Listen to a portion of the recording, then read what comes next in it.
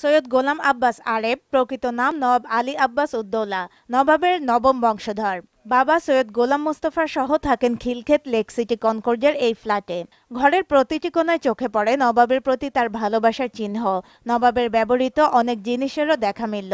সিরাজউদ্দৌলা সেই প্রিয় হরিণের শিং এবং সেই হরিণের ছালটা এবং বেগম লুৎফুন্নেসা যে পেয়ালাতে পানি খেতেন, কন্যা উম্মে জোহরা রূপচর্চার কাজে যে এটা ব্যবহার করতেন সেটা আমাদের কাছে আছে। বেগম লুৎফুন্নেসা যখন আট বছর বন্দী ছিলেন জিঞ্জিরা প্যালেসে আমাদের পরিচিত কিছু বিশ্বস্ত সার্ভেন্টস যারা ছিল তারা সেগুলো সংরক্ষণে রেখেছিল।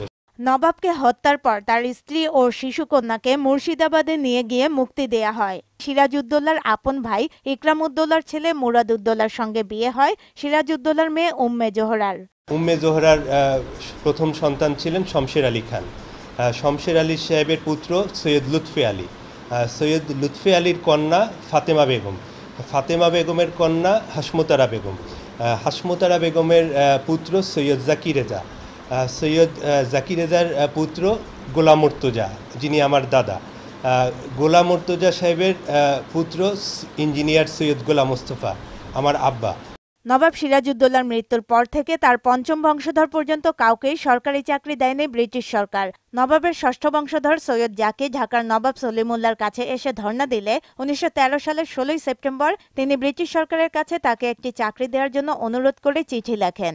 উনিশশো সাতচল্লিশ সালের দেশভাগের সময় তিনি চলে আসেন পূর্ব পাকিস্তানে। এখন আমরা সবে ঢাকায় অবস্থান করছি। এদেশের অনেক মানুষই জানেন না সিরাজউদ্দৌলার বংশের কেউ এখনও বেঁচে থাকতে পারে। কিন্তু এ নিয়ে যারা গবেষণা করছেন, তারা চাইছেন সিরাজউদ্দৌলার বংশধরদের বিষয়টি জনসম্মুখে নিয়ে আসতে। আমার ছাত্র আব্বাস, তাকে দেখে আমার কেন জানি মনে হয়েছিল যে সে একটা একজন খুব সম্ভ্রান্ত পরিবারের ছেলে। সে আমাকে কিছু বইপত্র দিয়েছিল এবং সেই বইয়ের থেকে আমি কিছু স্টাডি করেছি। আমি যখন ঢাকা কলেজের চেয়ারম্যান ছিলাম সেই সময়। এবং এই বইগুলির থেকে কিছু মেটেরিয়ালস আমি পেয়েছি যাতে প্রমাণিত প্রমাণ করা যায় যে সৈয়দ আবেদ সিরাজউদ্দৌলার নবম বংশধর এটাতে আর কোনো সন্দেহ থাকে না।